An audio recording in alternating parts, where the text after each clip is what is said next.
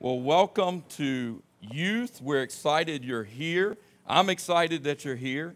And tonight we are going to be in the sixth chapter of John. So if you want to take your Bibles or open your, your apps and go to John chapter six, that's where we're going to be hanging out. Um, but tonight I want to start by doing something just a little bit different than we've done uh, in the past. And that is the first thing I want you to do is if you'll look under your seat, there should be a piece of paper and a pen a piece of paper and a pen. Go ahead and grab that for me. So grab that piece of paper, grab your pen. Everybody should have one. If you don't have one, raise your hand real high in the air and somebody will get you one. But hopefully everybody's got that. And here's what I want you to do I want you to take a minute, just take a moment, and I want you to be honest. I don't want you to look on your neighbor's paper, I don't want you to see what they're writing.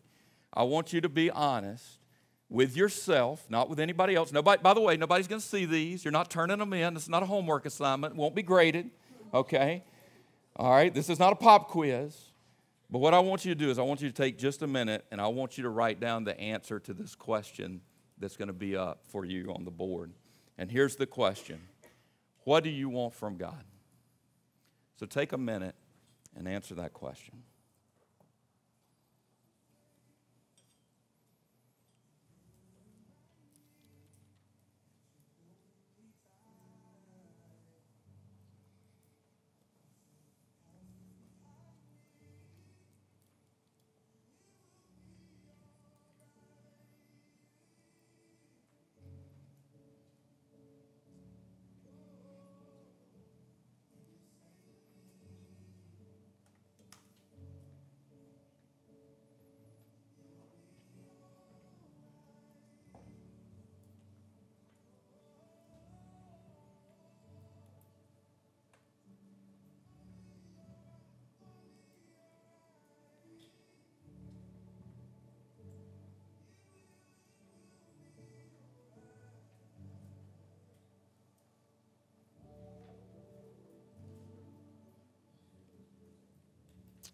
So I'm going to read a verse here in John 6. It's verse 25 and verse 26. It says, When they found him on the other side of the lake, they asked him, talking about Jesus, they asked Jesus, Rabbi, which means teacher, when did you get here? And Jesus answered them by saying, Very truly I tell you, you're looking for me not because you saw the signs I performed, but because you ate the loaves and had your fill. I love that the people showed up to talk to Jesus and they wanted to know when. And instead of Jesus telling them when, he told them why they were there. He didn't even answer their question. Right? They said, When did you get here? And he said, Let me tell you why you came. And that's a pretty cool thing. So let me give you a little context here of what's going on in the scripture. So, just prior to this moment, the day prior actually, which probably bled over into the evening, maybe even the later night, Jesus had, had just uh, met with over 5,000 people. In fact, it was probably more like 15,000. Uh, you might be familiar with the story in the Bible about Jesus feeding the 5,000. Uh, they only counted the men in those days, but we know that there were women and children there. So Jesus was probably speaking with uh, 10, 15, 20,000 people. And you need to understand that the people had come to see Jesus, they heard he was in the area, and these people had come, crowds and crowds and crowds of people had come to see Jesus because they needed to be healed. And it says that when Jesus met with them, he did all kinds of things that day that he healed them of their sicknesses, he cured diseases. It says that he taught them. And as it got later in the night, it says that he looked at them and he felt compassion for them because he saw them as sheep without a shepherd. In other words, they were just wandering and they were lost. And it says that he felt compassion on them. And so he asked his disciples, he said, Get these people something to eat. And they said, Well, we don't have anything. And he goes, Well, well, are you sure what do we have? And they said, Well, all we have are these five loaves of bread and these two fish. And it says he looked up to heaven and he didn't ask God to give him more. He looked up to heaven and he thanked the Father for what he had he blessed the food, and then it says they began to distribute the food. And it says the thing about when they distributed the food, Will, that they did that, and that pe- people that were in the crowd could take as much as they wanted. They could take as much bread and as much fish as they wanted. And it says they distributed all the food, and when everybody had had their fill, and when everybody had eaten, and when everybody had gotten as much as they wanted, when it was all said and done, that the disciples picked up 12 baskets of leftovers from five loaves and two fish. And so we get into this scripture that says they found him on the other side of the lake. You see, after he had fed the 5,000, Jesus went away and the people came and they started to search for him diligently. They realized that he was there, not there any longer and they began to look for him. And, and many of them crossed the lake in boats and found him on the other side of the lake. And that's when they asked him, they're like, hey, when did you get here? And then Jesus makes this statement in verse 26 where he says, Very truly, I tell you, you're looking for me not because you saw the signs and the miracles I performed among you, but because you ate the loaves and had your fill. You see, he had been healing people, they had experienced uh, Jesus and the miracles, and they wanted more from him. That's, that's the reality.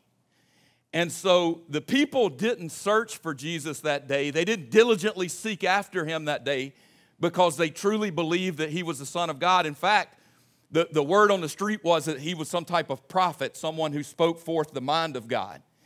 Although he was telling them that he was the Son of God and that, that, that, that God the Father had sent him, they were not searching for him for that reason. The fact of the matter is, is they were searching for, for Jesus that day because they needed something from him. They wanted some things from Jesus. And that's why they had set out in searching for them. You see, there were people among them that needed to be healed. There were people that needed deliverance. There were people that were blind, that were sick, that were lame, that couldn't walk. There were people that had problems. There were people that had needs. There were people that couldn't, couldn't afford to put food on the table. They couldn't feed their families. These people needed things from Jesus, and so they set out diligently looking for Jesus. They weren't looking for him because they believed he was the Son of God. They were looking for him because they needed something from him. And it just stood out to me how that relates to us. You see, they had problems and they wanted Jesus to fix their problems. They had desires, and they wanted Jesus to fulfill their desires. And if we got real honest with ourselves tonight, that's a lot like some of us in the room. A lot of us in the room, we only pray when we need something from Jesus, if we get honest. We only pray when we want something from Jesus. We only go to church out of some form of obligation or when we need a problem fixed or when we need something or we want something or we think, well, if I could go get in church, maybe this would get better for me. Maybe if I just showed up in the place, things in my life would begin to shift. And oftentimes in our life, the motivation for our prayers and the motivation for coming to church. The motivation for even opening our Bibles. I can't tell you how many times I've heard somebody say, Well, I just didn't know what to do, so I just randomly flipped through my Bible and looked for a page. You know you've done it. You know you I've done it. I've done it. It's okay. I've done it. But what's the motivation? Is the motivation because you need something from Him? Or is the motivation because you need Him? Those are two very different things. And a lot of us fall into that category. We want God to fix our problems, we want Him to meet our needs and fulfill our desires. A lot of times we treat Jesus a whole lot like a genie in a bottle, right? I'm just going to keep the bottle back here. I'm not going to worry about it. But when I need something, I'm going to pull the bottle out I'm going to rub on it, and the genie's going to come out and give me my three wishes. But that's not what Jesus Christ is. That's not what, what God is. God's not a genie in a bottle. God doesn't just, he, he did, He's not the creator of the universe to just cater to our wants and our needs.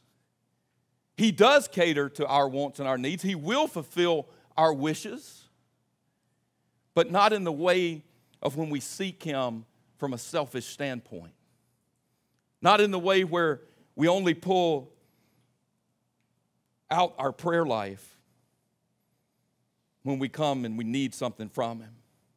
We treat Him that way rather than the creator of the universe who deserves our worship.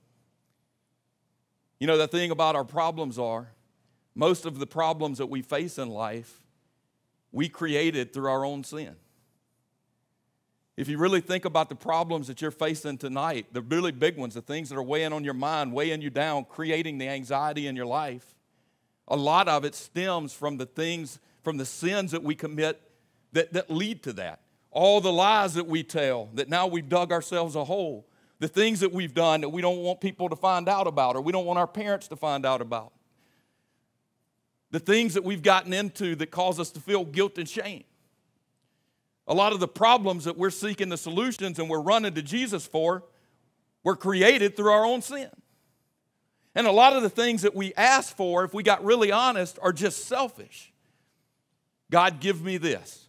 God, give me that. Give me popularity. Give me likes. Give me friends. Give me a relationship. But that's the reality for some of us. Our prayers look a whole lot like get me out of this, take this away, and I won't. And if you really want to know where you're at tonight, just think about your prayer life. What does your prayer life look like? You don't have to tell me, you don't have to tell your small group leader. Tell yourself. What does your prayer life look like? If you got really honest, is it about him or is it about you? Do you go to him and is there a daily relationship with him? Is there a weekly relationship with him? Or do you just show up in your prayer life when you need God to do something for you? You see, God, the person of God, who He is Himself, God the person, His Spirit, the Spirit of God,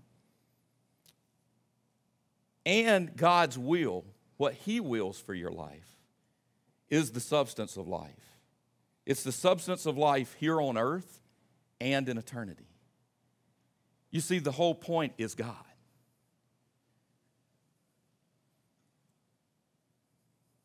The whole point is God. That's why Jesus said that I'm the bread of life. What he was getting at here is He's the substance, He's the only thing that can fulfill what your soul really desires. That there's nothing else that can fill you. And Jesus was telling the people, I am the bread. I'm the bread that gives you eternal life. He said in the scripture I read you, for those that believe in me, for those that place their faith in me, for those that turn and follow me, that they will live forever. That they will live forever. It was a promise. He's the bread of life because he wants to give you eternal life and a satisfying life here on earth. But that's only found in a healthy and thriving relationship with Jesus Christ. And I think sometimes we believe that when we hear eternity, how many of us think about that as sometime in the distant future, right? When you think about eternity, how many raise your hand if you really think about it sometime in the distant future, right? Like eternity is something that's going to happen when I die, it's something way out there. Can I let you in on a little secret? Eternity starts right now. Eternity is from this second on. The choices we make, how we live, what we choose to do with life, all of that determines every moment from t- right now until never ending. And Jesus says there's only one way to the Father, and it's through the Son, it's through me, and I'm the bread of life. I'm the thing that gives you substance. I'm the thing that will fill you up. I'm the thing that will give you a satisfying life. You can try everything else, you can chase everything else, but nothing will ever do that except for the person of, the spirit of, and the will of my Father. That's it. That's it. You know, there is nothing in life that's going to satisfy your soul except the Spirit of the living God. Everything in this world, maybe you put a lot on your looks, right? Maybe you feel good about the way that you look, and I know a lot of you do. I see you on Instagram and B Reels and all that stuff, right? But all of that will fade away. Possessions. You can get everything the world has to offer, Ben, everything it will all fade away. When you die, nothing matters. It's all gone. Somebody's going to get it that don't care about it. Possessions, wealth, looks, popularity all fades away when you die. You can be the most famous person on the planet, but you're not when you die. It all fades. It's temporary. It's a vapor. It's here today, it's gone tomorrow. Pleasure, whatever that is for you right? Whatever, whatever you think pleasure is, I do this and makes me feel good. I'm having a good time. Maybe you are in the moment, but all of it is fleeting. All of it is temporary. Why do you think they call it a temporary high? Right? It doesn't last forever. It's only there for a moment. So I want you to understand that there's nothing in life that will satisfy your soul except for the Spirit of God. And when we place our faith in Jesus and we give our lives to Jesus Christ, He fills us with that Spirit and He teaches us how to live for others and how to live to complete His will and do His will and not our own. You see, our problems, our needs, and our desires may be the things that bring us to Jesus. But our relationship with Jesus can't be self seeking, it must be built on Him alone. That one really stood out to me today because, you know, the only experience I can ever talk to you guys about is my own experience. I can't, I can't speak for Emily's experience, I can't speak for, for anybody, Eric's experience, or anybody else in this room. The only experience I can tell you about is my personal experience. And so, a lot of times when I'm preparing for these messages, I think about my own life. And I think about you know, when I was far apart from God and when I came to God and, and, and when I began to live for God, right? That's, that's what I draw from.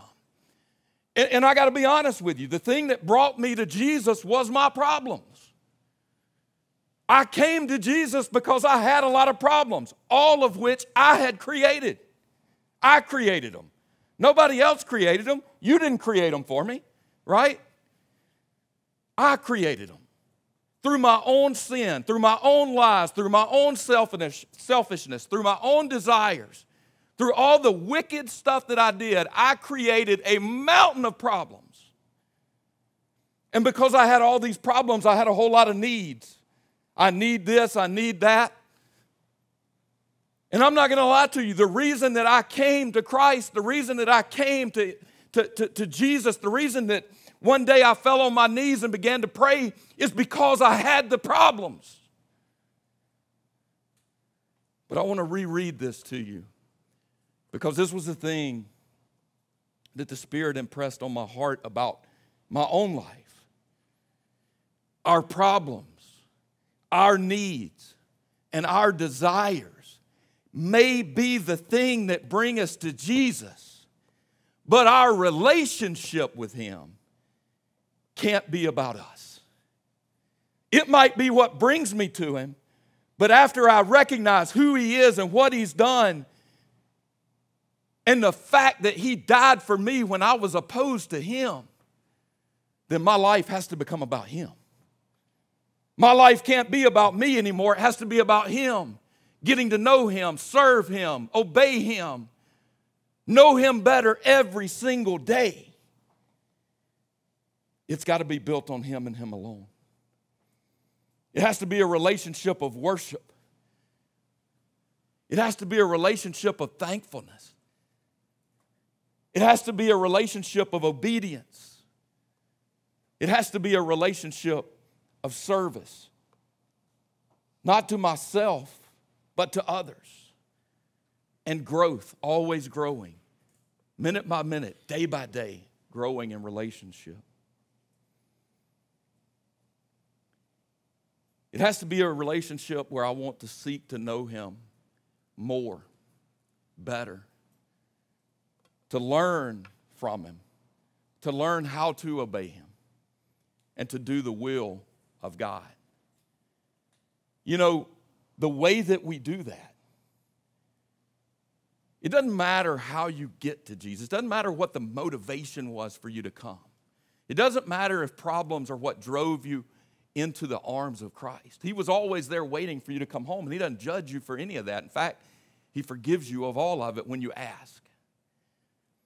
But once you've done that, and once you've met Him, and once you realize in your heart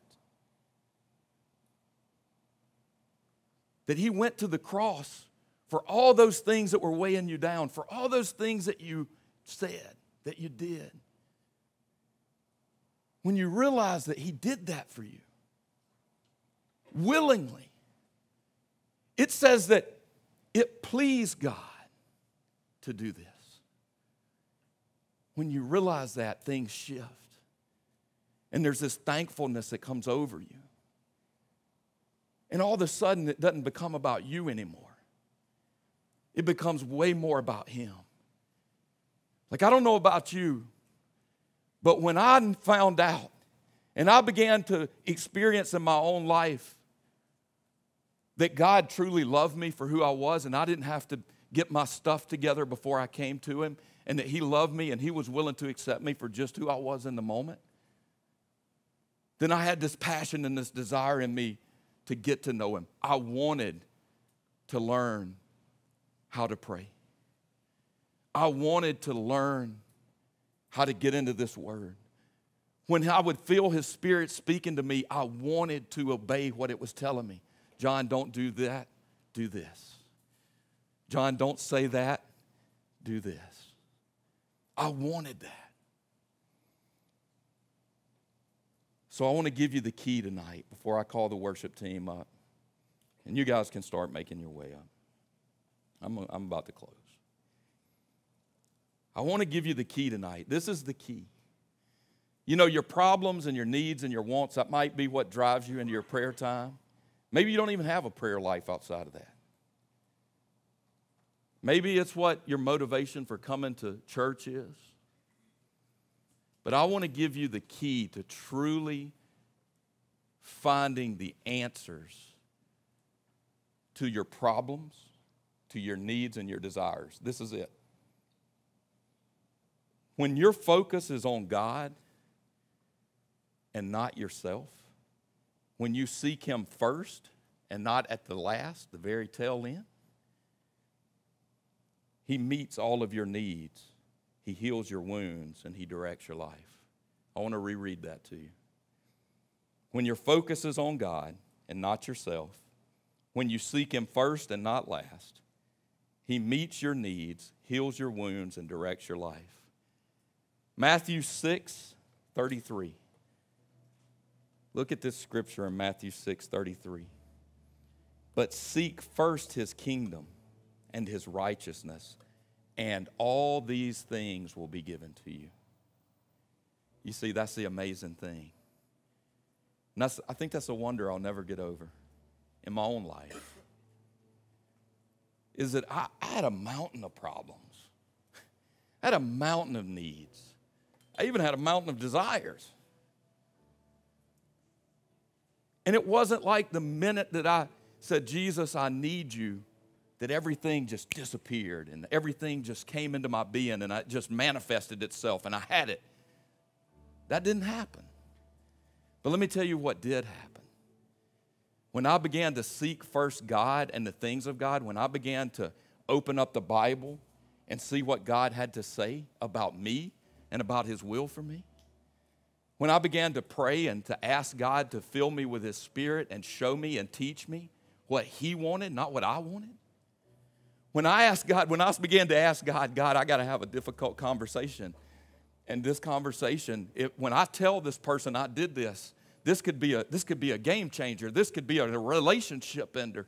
And I don't want that, God. I love this person. I need this person. I don't want to lose this person. God, please go before me and soften their heart when I began to do those things, God did something amazing. All of a sudden, the problems began to fade away because I began to walk in His will, not my will. The needs began to, to change because my needs became His needs, the things that He wanted, the things He was showing, the things that He was directing me, again, through my personal prayer time, through the reading of His Scripture, and through what His Holy Spirit was speaking into my own heart. My prayers, I want you to remember when I started, I said it's uh, our prayers are a lot like this. Please get me out of this, take this away, and I won't. Y'all remember that? Let me tell you how my prayers shifted when I started to seek first the kingdom of God. My prayers became help me to be more like you. Fill me with your spirit and show me. God, teach me your will. God, help me to be obedient and to obey the things that you say because I know they're for my own good. They shifted, they changed. Just this morning, I spoke with a student. I get the opportunity every week to be in a local high school, and this morning I saw a student sitting by herself, and it's a student that I've interacted with before, but I don't know her really well. And I just went up and I said, "Hey, how you doing?" And she goes, "Not too good." And I said, "Well, what's wrong?" And she goes, "I'm just ha- I'm just overcome with anxiety." And I said, "Well, how long have, has this been happening? How long have you had this anxiousness in your life?" And she said, It's been going on for a couple of years, but it's really bad right now. And I said, Well, what are you anxious about? And she goes, Well, you know, I'm a senior this year, and I've just got all this pressure, all this pressure to perform, all this pressure to make the best grades, all this pressure to get into the right school, all this pressure to get a great job, all this pressure to have an awesome, you know, life. And I said, That's a lot of pressure. She was like, Yeah, I know, right? And I asked her one question. I said, Can I ask you a question? And she said, Sure. And I said, Let's pretend you're 100 years old. You live to 100 years old. And today, right now in this moment, let's just pretend you're 100 years old today, today, today. And you're looking back over the course of your whole life, all 100 years. Can you tell me what you would define as a successful life? She first gave me the pastor answer. Well, I guess growing closer to God. I said, Don't give me the pat I'm not looking for that. don't, want, don't give me the churchy answer. I want you to tell me if you were 100 years old today and you were looking back over your whole life,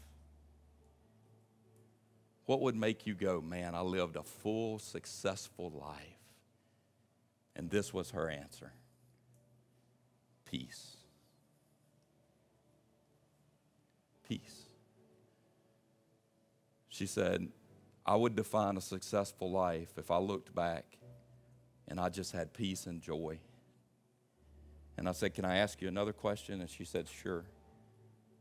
And I said, All those things you named before the grades and the college and the career and all that other stuff does any of that give you what you just said? And she said, No. And I said, Well, what does? And she said, If I would seek God first. You see that scripture in Matthew. Seek God first, and then all these things will be given to you. When we go to Him first and not last, when He's the priority, when what we want from God is just God you see, that's the prize. At the end, at the end of this thing, when we're all dead and gone, and we show up on the doorstep of heaven, Genevieve, the prize is not a mansion. The prize is not a Ferrari. The prize is not being a billionaire in heaven. The prize is being in the presence of the one who created the universe. The prize is Him. That's the reward. He wants you to have this satisfying, rich life right here, right now on earth. But you have to want that. If it's not important to you, and you believe that you're going to be satisfied by filling up on the bread of the world, all that stuff I talked about, you'll look back at the end of a hundred years of your life and you'll feel empty and you'll feel unsatisfied and you'll feel regret and you'll say things like, I wish I would have, fill in the blank. So, this is an inspirational message, and this is the way I want to close it tonight. Everybody can stand. Stand with me right now.